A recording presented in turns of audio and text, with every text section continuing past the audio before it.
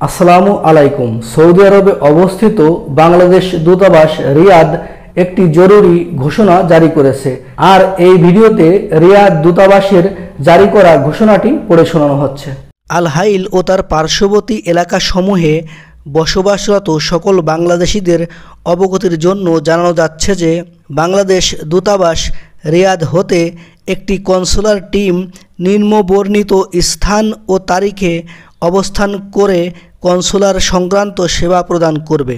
স্থান hotel Al Jabalin ও Al Hail.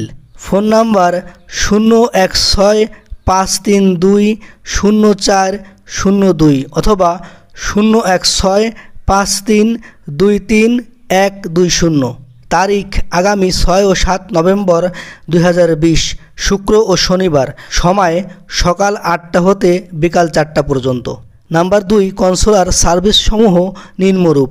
Number ক, ডিজিটাল বা এমআরপি পাসপোর্ট রিইস্যুয়ের আবেদন গ্রহণ। নাম্বার খ, পূর্বে গ্রহণকৃত ডিজিটাল বা এমআরপি পাসপোর্ট বিতরণ। নাম্বার গ, অন্যান্য কনসুলার সেবা প্রদান। ডিজিটাল পাসপোর্ট বা এমআরপি রিইস্যুর জন্য পাসপোর্টের ফটোকপি স্বাক্ষর করে আবেদন করতে হবে। তবে কোনো ফর্ম ও ছবির প্রয়োজন নাই।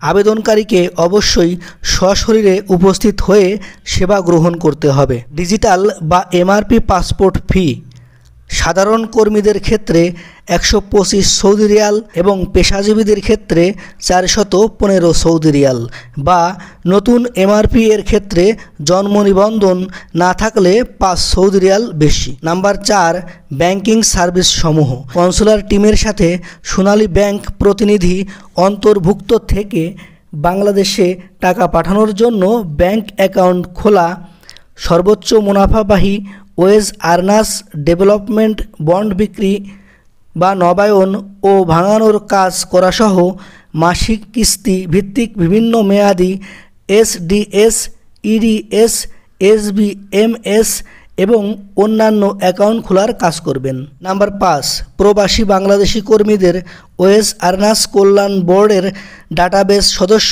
হিসাবে অন্তর্ভুক্ত করার কাজ করা হবে। উক্ত ডাটাবেস সদস্য পদ গ্রহণের ফি একশত সাতশো সৌদি রিয়াল। নাম্বার ছয়, উপরুক্ত বিষয়ে আল হাইল ও তার পার্শ্ববর্তী এলাকাসমূহে বসবাসরত সকল বাংলাদেশিদের প্রয়োজনীয় সেবা গ্রহণের লক্ষ্যে নির্ধারিত সময়ে উপস্থিত থাকার জন্য অনুরোধ করা যাচ্ছে। ভিউয়ার্স, ভিডিওটি ভালো লাগলে ভিডিওতে একটি লাইক দিবেন এবং এখনও যারা আমার চ্যানেলটিকে সাবস্ক্রাইব করেন নাই, চ্যানেলটিকে সাবস্ক্রাইব করে সাথেই থাকবেন। এই প্রত্যাশায় শেষ করছি। আসসালামু আলাইকুম।